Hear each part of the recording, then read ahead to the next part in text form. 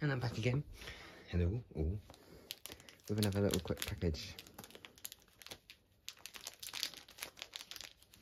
It's another game. You can tell what it's probably going to be from my other videos.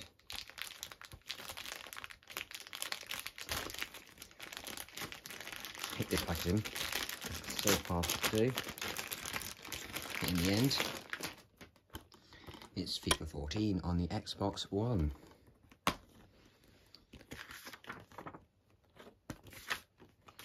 So all the documentation.